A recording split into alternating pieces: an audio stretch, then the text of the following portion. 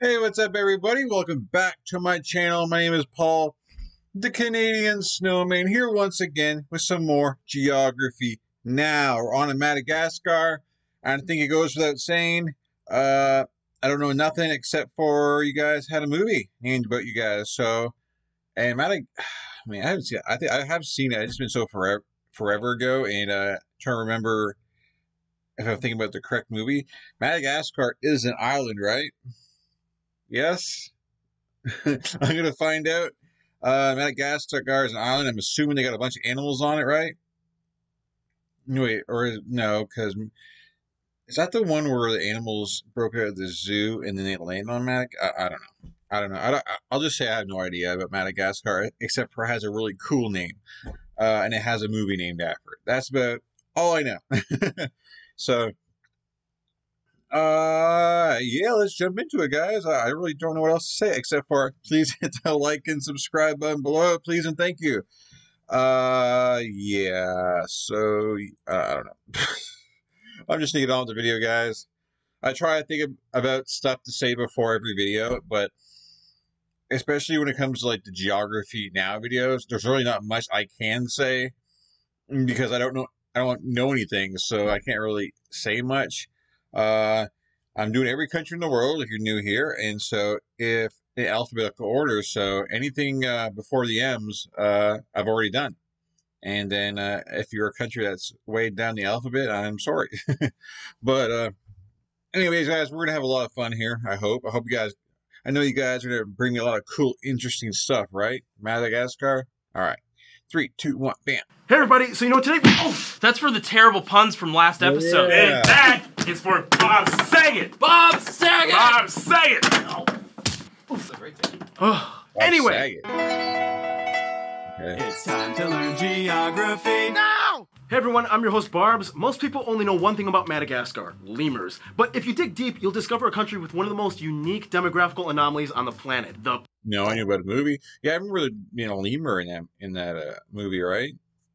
I'm sorry, you guys probably like hating me right now for bringing up the movie.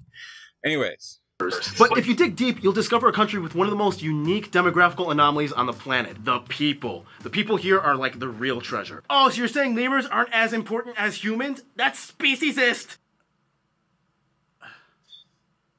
oh my, Native Geography Lalina wrote a cool quote in an email saying, Madagascar is shaped like the left footprint of the gods. And when you observe this nation, you'll definitely see the divine residue. First of all, Madagascar is an island nation and the fourth largest island in the world, located just off the coast of eastern Africa near Mozambique. The country is divided into 22 regions with the capital Antananarivo, sometimes called Tana for short, located in the Analamanga region near the center of the country. After the capital, the largest cities are Toamasina in the east coast and Antsirabe in the center. Although the country has about 70 domestic airports and airstrips, mostly for transporting supplies to the outskirt villages, the largest and only international airport is Ivato International in Antananarivo. Transport in Madagascar is quite good as the 6, 4, and 7 highways connect the country north to south. Unfortunately, only about hmm. 10% of their roadways are paved, and many are affected Damn. by rain and cyclones. It can take about 6 hours just to drive 60 miles simply because of the road work. Otherwise, with a coastline of over 3,000 miles, they are loaded with harbors and ports for shipping. The largest one, of course, being Toamasina, where most of the imports come in from the east. It also transports about 75% of their imports and exports. Wasn't there also like that Libertalia thing where the pirates came into hideout and made like this weird utopian society in the 1600s?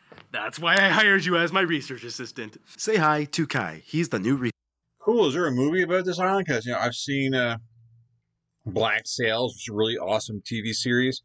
Uh, you know, and just that time period seems like a very interesting time period. So yeah, let me know if there's any kind of like TV series based on this because you know pirates are cool. Anyways, and the paved road, ten percent, woo. But I guess everyone's got like four wheel drive around there. I'm assuming. 1600s. That's why I hired you as my research assistant. Say hi to Kai. He's the new research guy. The country has only two main railways, one mostly for cargo between Toamasina and Antananarivo, and the southern route, the Fianarantsoa Manakara line, which carries passengers between the two towns that are not accessible by road. Sorry if this Okay. stuff seems kind of really boring and technical. It's just I like showing the inner workings of a country's infrastructure and how it operates. It's like it's like opening up a pocket watch and explaining how all the gears and buttons make the whole thing It's cool, function. dude. Pocket watch? What are you, 90 years old? When I look at you Gen Z kids, sometimes sometimes I question if I actually am. The country has dozens of smaller islands and islets around the coast, mostly on the west side. Places like Nosy Be, the largest and busiest resort in the country. Wasn't there a crazy news story about that place in which an angry mob went up to some French tourists and Yeah, yeah, but we gotta keep this channel monetized. Otherwise, just like we mentioned in the Comoros episode, they have a few disputes over ownership of certain islands in the region. All these islands Angry mob went up to a French tourist. Now you guys got me interested. Maybe someone, anyone uh, from Madagascar, let me know in the comments below.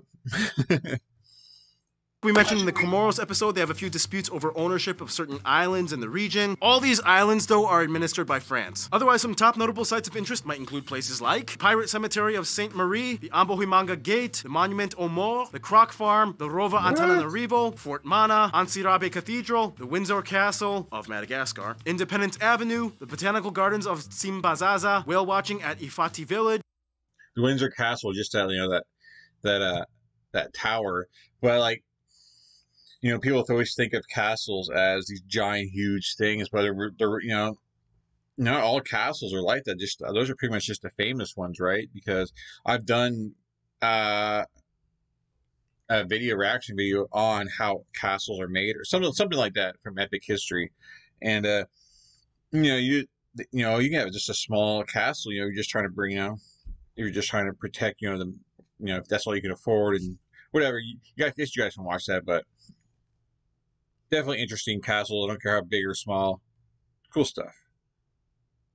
Rova Antananarivo, Fort Mana, Antsirabe Cathedral, the Windsor Castle of Madagascar, Independence Avenue, the Botanical Gardens of Tsimbazaza, whale watching at Ifaty Village, the Savika Bullfighting Ring, and the Gemstone Marketplace of Ilakaka. Alright, that was fun, and just like Bob Saget's career, it's time to move on to weird bullfighting ring. That's got to be dangerous right?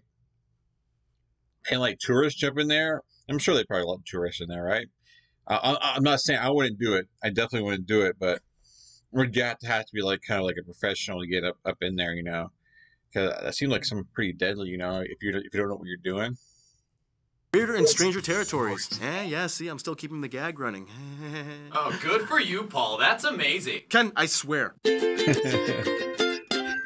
In Madagascar, it's like grandma's kitchen. Everything is homemade with an original recipe. And this. First of all, Madagascar is made up of four main landscape zones the wetter east coast, the drier savanna west coast, the really dry southwest coast, and the central highlands known as the Tsaratanana Massif, where you can find the tallest peak, Maromokotro, further up north. It even snows on the peak sometimes. These mountains also provide the source of all the major rivers, including the longest, the Mangoky. However, the Ikopa is probably the most important one as it flows through Antananarivo, known for its distinct red color caused by river sediments. Not too far off, you can find hmm. Lake Alaotra, the largest lake in the country. Alright, now that that's out of the way, if you've watched any kind of documentary or show or incredibly accurate cartoon depiction of Madagascar, I'm sure you're fully aware of how unique and distinct the country is when it comes to nature. Due to the geographic isolation, somewhere around 80 to 90% of the flora and fauna can only be found here and nowhere else. Not only that, but even though Madagascar is only like the 48th largest country in land area, it makes up about 5% of the world's entire known biodiversity. Some have even gone so far as to label it the eighth continent. Yo,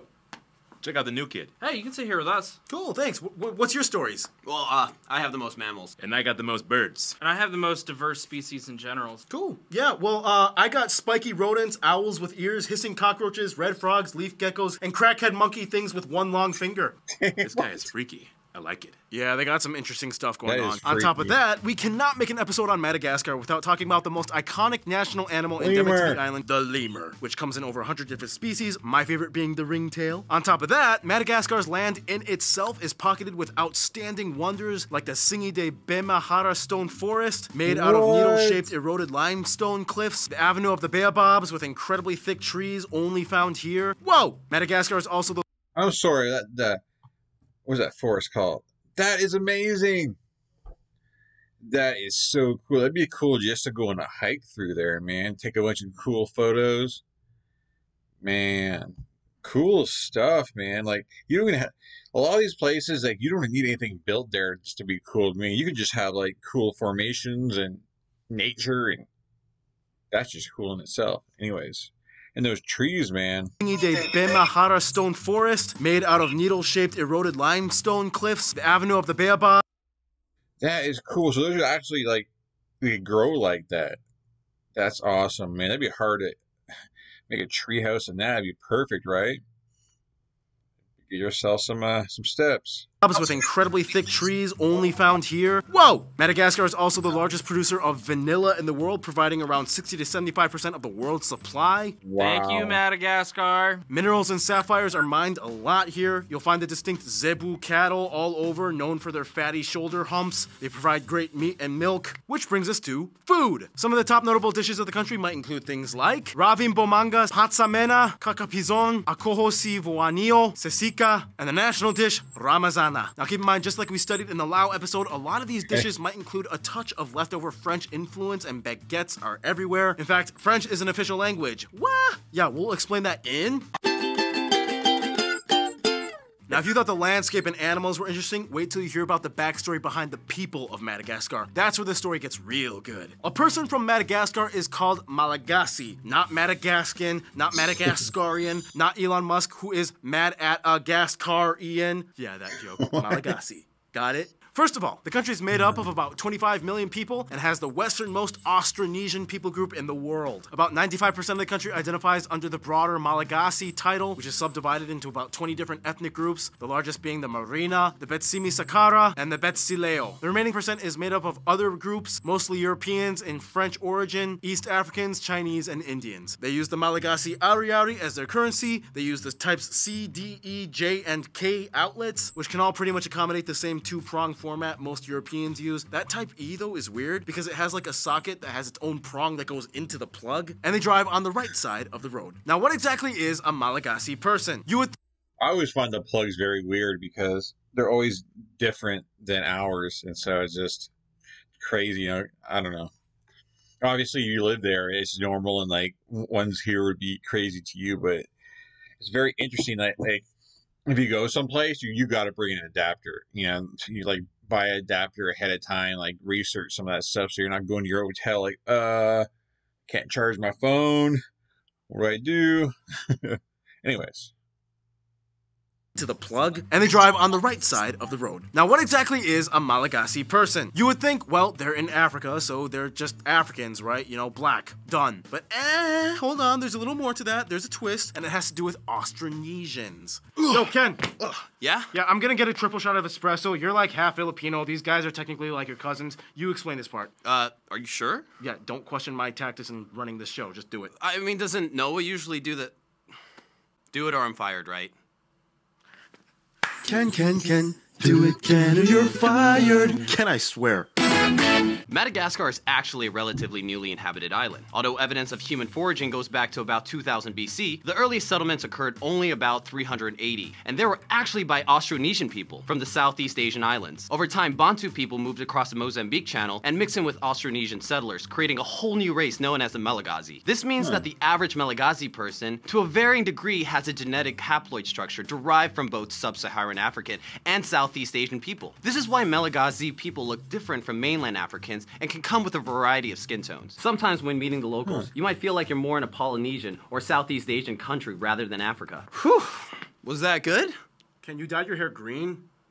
Ken, I swear. Anyway, the Malagasy language is one key factor that sets Madagascar apart too, as it's related to other languages in the Nusantara region of Southeast Asia. Side note, that word I just said, Nusantara, is the term used for the entire archipelago of islands in Southeast Asia. And the craziest thing is, the closest language to Malagasy is actually the Ma'anyan language spoken in Borneo, not a native African one. You can find other similar words in other Austronesian languages, like the word for island, Nosi, versus Javanese, Nusa, or Malay-related words like Rihanna versus Riyam. On top of that, as a former French colony, French is an official language, mostly spoken by the government and educated officials, although only about a quarter of the population are fluent. Still, you see French signs everywhere. Culture-wise, as mentioned, there are 18 tribes, each with their own distinct customs. For example, the Betsileo are known for their Famadihana dead celebrations and Zebu rodeos. The Betsimisaraka are known for being like the best fishers. The Sakalava are the non-Malagasy Bantu-derived tribe, and they have their trance ceremonies that talk to their ancestors. The Antandroy are like the ones that live near the spiny forest and are famous for their drums, spears, and flutes. The Bara are famous for their cattle herding and hair braids. The Antafasi are the desert sand people, and so on. About half of the country is Christian, whereas the other half adhere to indigenous folk religions, sometimes synchronized with Christianity, making Madagascar one of the highest percentages of populations that practice traditional beliefs. Speaking of which, it's time to talk about history. In the quickest way I can put it, foragers come in but maybe die out or disappear. Austronesians sail in, then the Bantus come in, then the Arabs, the Portuguese, many small kingdoms. This dude decided to unify it. English and French missionaries, deportation of the Queen, colonization of the island in 1896, independence 1960, 1972 university strike that resulted in the end of the First Republic. This guy becomes president and kind of stays that way. Protests, modern era, and here we are today. Some notable people of Malagasy descent or who came from Madagascar might include Jean Joseph Robert Ravello, Daguerre, these soccer players, Raymond Ranjeva, Samuela, Nini Donaya, Olombelona Ricky, Viavichila, Nirina Zubir, Albert Kwan, Lego, Mahaleo, this former president, Michelle Rakoston, Lolo Sini Tarini, and these traditional singers. All right, time to move on to the last segment.